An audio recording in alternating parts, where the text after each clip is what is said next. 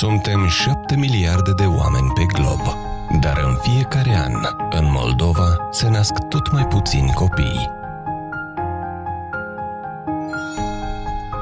O femeie din Moldova naște în medie 1,3 copii, de două ori mai puțin decât este necesar pentru simpla înlocuire a generațiilor.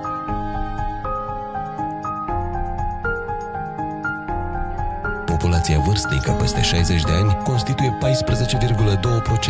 iar către 2050 va depăși 30% din numărul total al populației. Moldova este considerată o țară bătrână. Populația scade vertiginos. Dacă în 2010 era de peste 3 milioane de persoane, se estimează ca până în 2130 să se ajungă la doar 1